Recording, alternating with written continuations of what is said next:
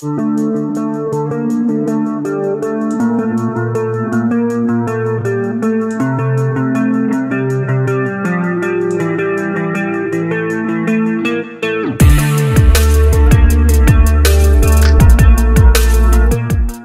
terjadi di lapangan Karangmas Desa Reruairere, Kecamatan Palue, Kabupaten Sika, Kamis, 15 Agustus 2024 sekitar pukul 16 Wita. Dalam video yang diterima Tribun Flores, tampak beberapa warga membawa senjata tajam berupa panah, busur, parang dan tombak. Nestor, warga setempat menuturkan, kerusuhan tersebut buntut dari turnamen futsal antar sekolah dasar sekecamatan Palue. Dikatakannya, masyarakat desa Kesokoja menyerbu panitia turnamen futsal antar sekolah dasar sekecamatan Palue. Warga protes karena salah satu sekolah jagoan mereka tidak masuk semifinal dalam turnamen tersebut. Hingga saat ini, situasi di Palue semakin mencekam, warga tidak berani keluar rumah. Ia mengaku sudah melaporkan kejadian tersebut ke anggota Polsek Nelle. Sampai saat ini Tribun Flores masih berusaha menghubungi Camat Palue dan anggota di Pospol Palue. Kasih Humas Polres Sika, AKP Susanto ketika dikonfirmasi Tribun Flores, Kamis, 15 Agustus 2024 malam di Maumere mengatakan, bahwa pihaknya sedang mengecek informasi dari Polsek Nelle dan anggota di Pospol Palue.